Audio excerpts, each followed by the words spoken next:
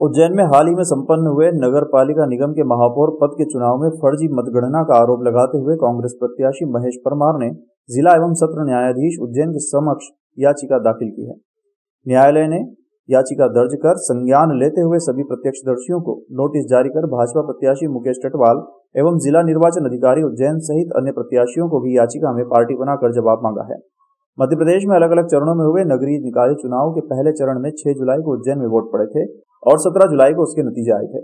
उज्जैन के महापौर पद के परिणाम के बीच जमकर हंगामा देखने को मिला था। नगर निगम चुनाव में आए परिणामों में महेश परमार को महापौर पद के लिए एक लाख तैतीस हज़ार तीन सौ अट्ठावन वोट मिले थे और महेश परमार को सात सौ छत्तीस वोटों से हार का सामना करना पड़ा था, जिसके बाद मतगणना स्थल पर जमकर हंगामा हुआ था और कांग्रेस नेता और प्रशासन आमने सामने हो गए थे। महेश परमार द्वारा कोर्ट में लगाई गई याचिका में दस्तावेजी साक्ष्य प्रस्तुत किए, साथ ही याचिका में कोर्ट की निगरानी में पुनः मतगणना की मांग की गई। परिणाम घोषित कर कांग्रेस प्रत्याशी को विजेता घोषित करने की मांग की गई है। विधायक महेश परमार ने कहा है कि जिला निर्वाचन अधिकारी ने संविधान की धज्जियाँ उड़ा दी है। जनता के जनादेश को बदलकर मनमर्जी तरीके से जनता को धोखा देकर चुनाव आयोग के आदेशों की अवहेलना कर कांग्रेस प्रत्याशी को हराया।